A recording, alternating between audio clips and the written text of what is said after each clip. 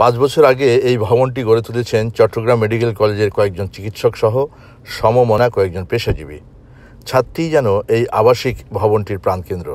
বৈচিত্র্যময় ফুলের এই সংগ্রহশালা শোনাচ্ছে ব্যতিক্রম এক ছাদ কৃষির গল্প। মোটামুটি আপনি যে ফুলের নাম বলতে পারবেন অলমোস্ট এভরিথিং ইজ আপনার ফুলের কালেকশন কটা আছে? ওইখানে এই তিন চারশো রকমের তো আছে। আছে। আছে। উদ্যোক্তারা বলছেন শুধু ফুলের সুরভি গ্রহণ করাই মূল উদ্দেশ্য নয় বরং দেশি বিদেশি ফুলের নানা বৃত্তান্ত মানুষের সামনে তুলে ধরতে চান তারা। যে ট্যাক্সোনমিক নেম যেটাকে সাইন্টিফিক নেম হ্যাঁ। এর সাথে বাচ্চাদের এবং মানুষদের পরিচয় করে দিতে চাই। ডক্টর শাকিলের পাশাপাশি এই সংগ্রহশালা সমৃদ্ধ করতে ভূমিকা রাখছেন মুস্তাফিজুর রহমান। ফুল এটা আমার শখ।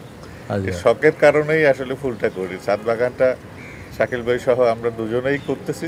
এই ভবনের সবার কাছেই গর্বের এই ঠিকানা।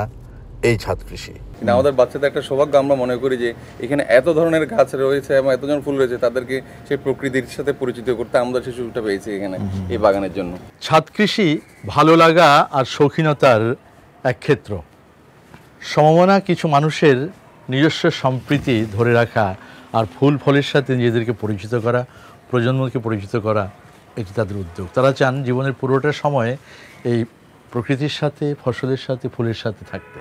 এদিকে গ্রীষ্মের শেষ দিকে এসে আঙিনা কৃষি নিয়ে ব্যস্ত সময় কাটাচ্ছেন যুক্তরাষ্ট্রের নিউ ইয়র্কের লং আইল্যান্ডের প্রবাসী সৈয়দ জাকি হোসেন ও তার স্ত্রী রাহাত হোসেন।